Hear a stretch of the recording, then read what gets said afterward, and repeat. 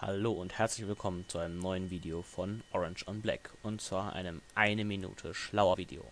Heute geht es um die Vollbildfunktion von Firefox und dem Internet Explorer. Wir fangen mit dem Internet Explorer an und unserer schönen Orange on Black Website. Der Vollbildmodus lässt sich hier über die Extras-Funktion und dann über Vollbild aktivieren und wir sehen, dass wir jetzt die den gesamten Bildschirm mit der Website gefüllt haben. Das Ganze kann ich über F11 wieder rückgängig machen und auch wieder einstellen.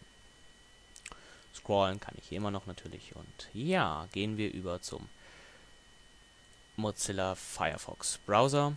Bei dem kann ich das natürlich auch über F11 regeln. Und hier sehen wir jetzt unseren YouTube-Kanal schön im Vollbild auf dem ganzen Bildschirm. Auf F11 kann ich es auch wieder zurückstellen oder das Ganze kann ich auch über Ansicht und dann Vollbild ein- bzw. ausstellen. Okay, so viel von diesem Video. Bewertet es, kommentiert es und bis zum nächsten Mal.